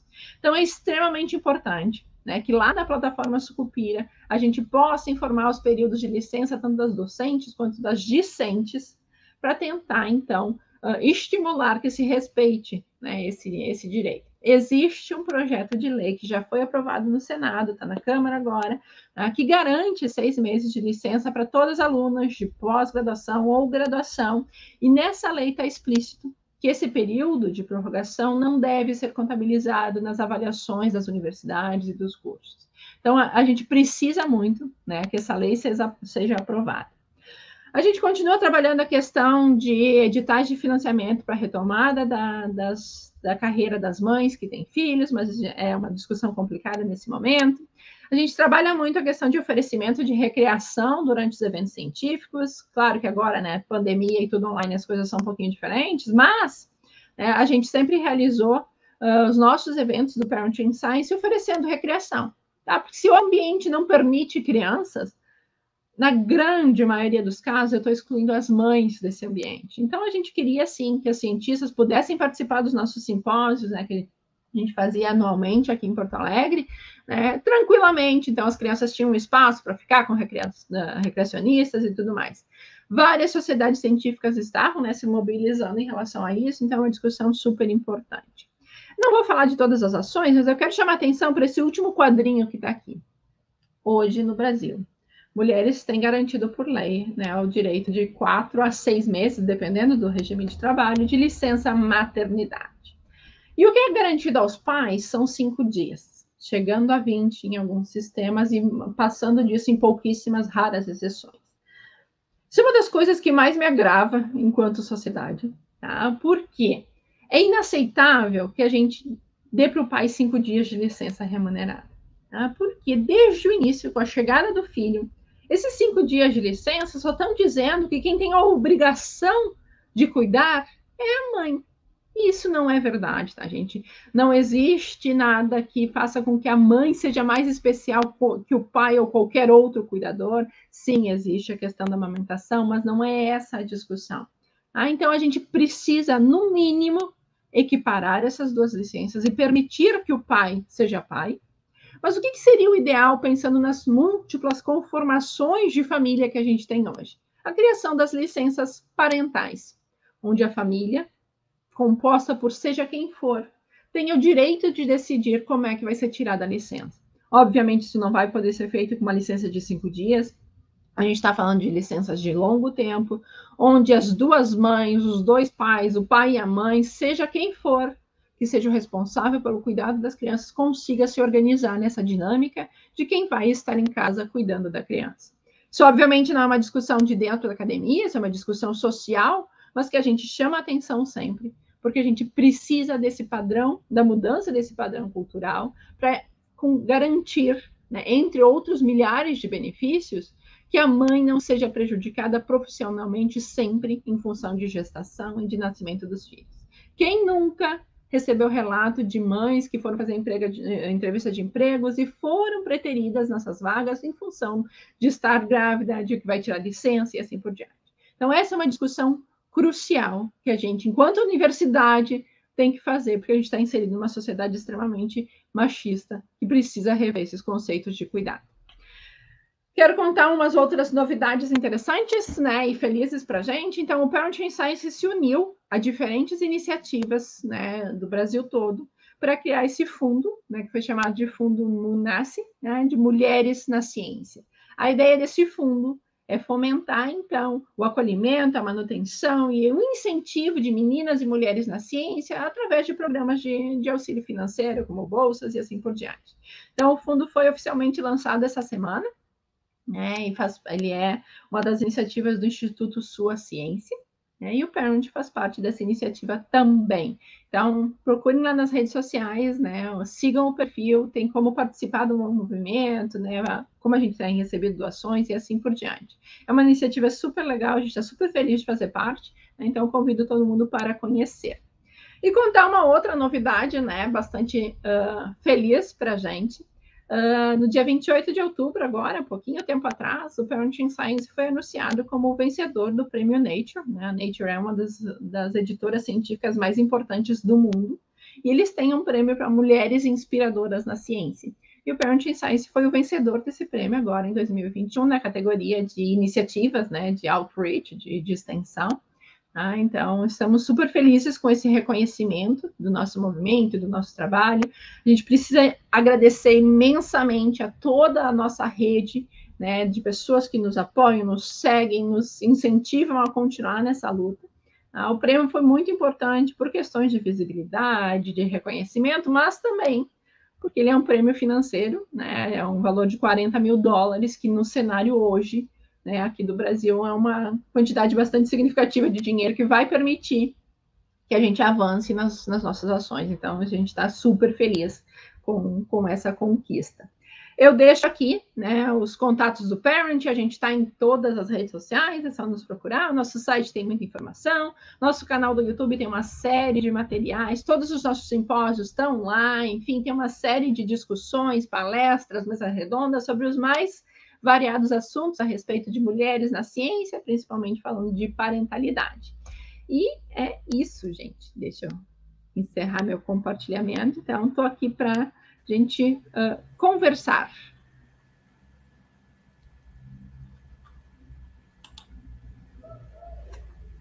Que bom, Fernanda. Parabéns, tá, pela iniciativa. Com certeza é ímpar, né? Faz muita diferença para nós, docentes, pesquisadoras, mães, pais, pesquisadores também, e nossos alunos.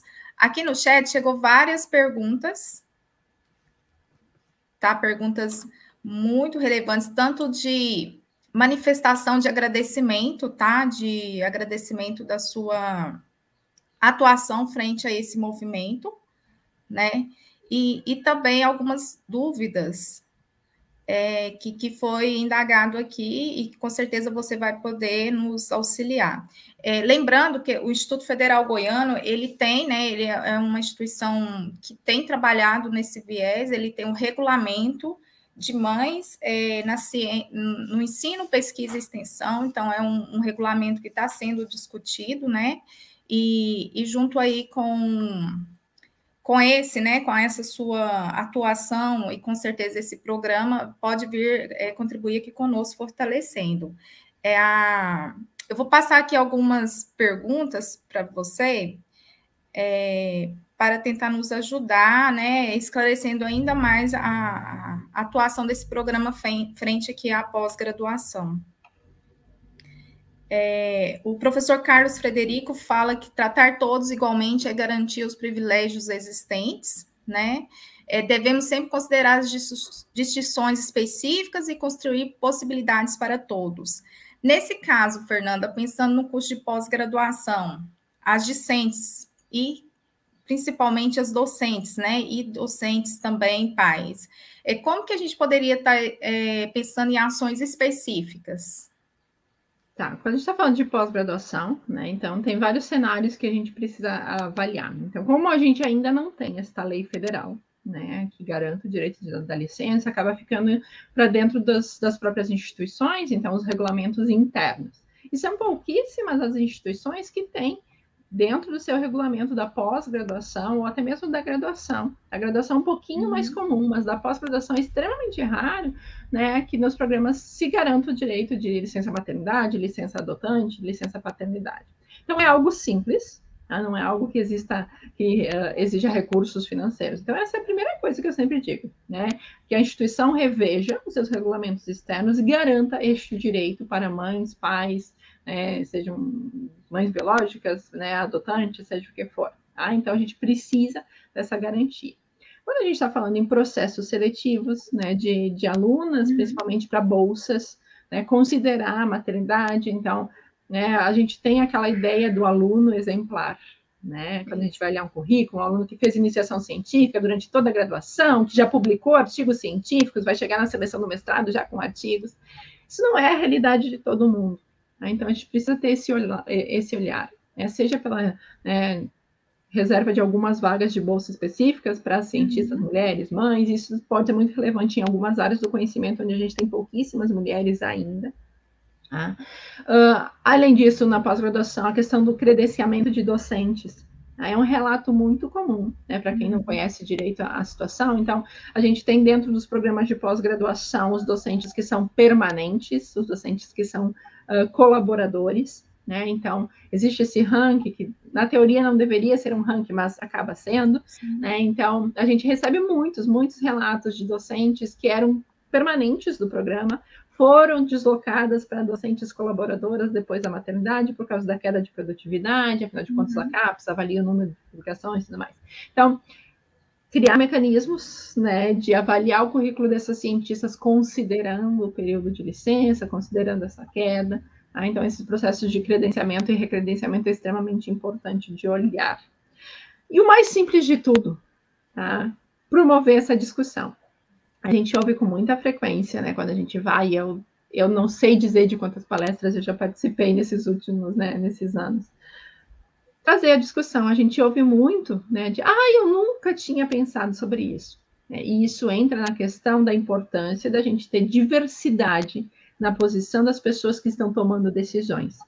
Ah, porque é muito provável que se eu não tenha vivido aquela experiência, eu não me atente para algumas coisas em relação a isso. Então, se eu tenho, né, no meu grupo de líderes da minha instituição, de coordenadores da pós-graduação, né, pessoas que não viveram diferentes realidades, né, aquilo que o professor Carlos né, falou, eu vou manter né, alguns privilégios que talvez eu não tenha nem consciência que eu tenho, mas são privilégios.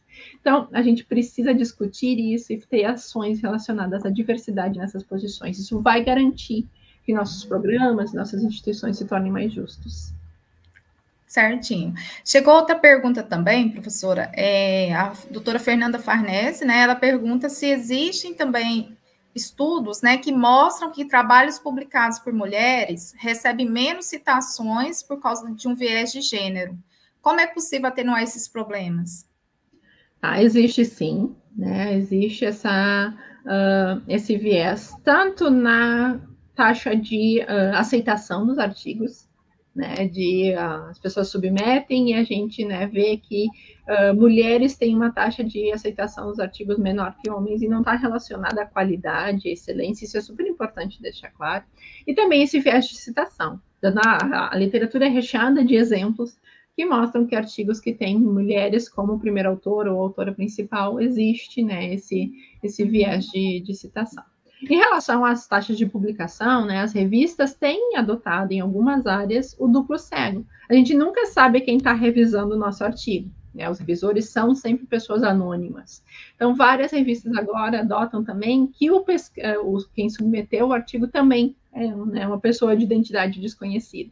E as análises que foram feitas mostraram que a taxa de, de aceitação de artigos de mulheres aumentou muito com esse duplo cego. Né? É super importante deixar claro, gente, que várias vezes é inconsciente esse viés. Tá? Uhum. Em relação às citações, né, trabalhar essa questão dos nossos vieses, dos nossos preconceitos inconscientes é super importante.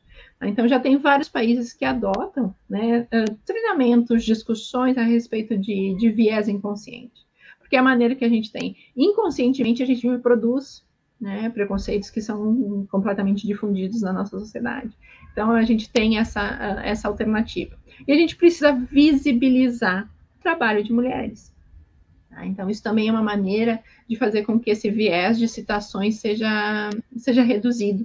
A gente precisa botar em evidência quem são as mulheres, porque muitas vezes elas são negligenciadas, né, de análises também não faltam sobre palestrantes em eventos científicos, uhum. né, que existe uma maioria de homens brancos aqui no Brasil, homens brancos da região sudeste, né, então já tem muitos dados que mostram isso, e é um esforço consciente. Quem está organizando esses eventos, quem está organizando essas listas de divulgações de quem são os cientistas mais influentes do mundo e tudo mais, tem que estar consciente de que existe esse viés e tratar de resolver de alguma maneira. Ah, mas sim, existe na literatura muitos dados que mostram isso. Certo.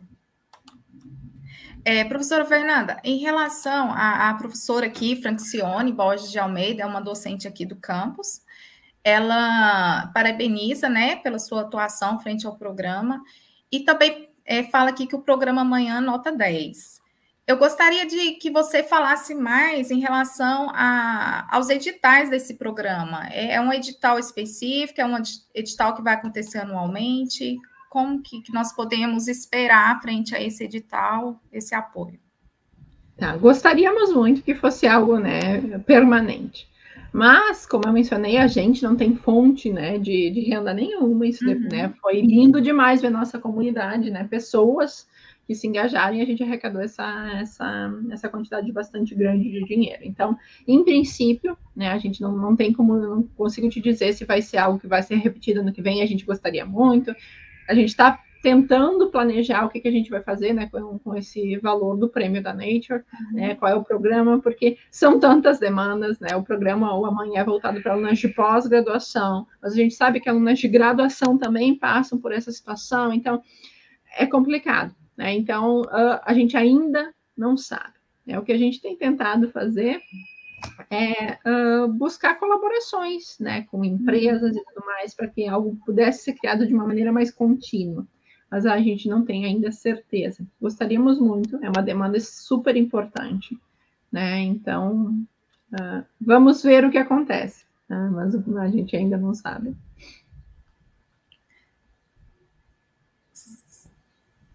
Certinho. É, em, relação, em relação, professora Fernanda, também, novamente, aqui, o, professor Carlos Frederico, ele comenta que, inclusive, as revistas devem adotar o sorteio dos avaliadores para pareceristas, né? Mas também temos que discutir o mercado editorial, onde todos ganham, exceto os autores e pareceristas.